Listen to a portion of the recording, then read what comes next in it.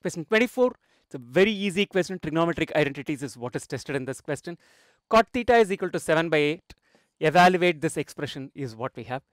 This is of the form x plus y into x minus y. So it's x square minus y square. 1 minus sine square theta is the numerator divided by again the same thing the denominator x plus y into x minus y. So x square minus y square. This is 1 minus cos square theta. 1 minus sine square theta is cos square theta. 1 minus cos square theta is equal to sine square theta.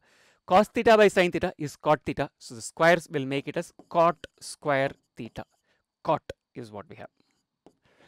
Cot theta is equal to 7 by 8. Therefore, cot square theta will be equal to 7 by 8 the whole square which is equal to 49 divided by 64.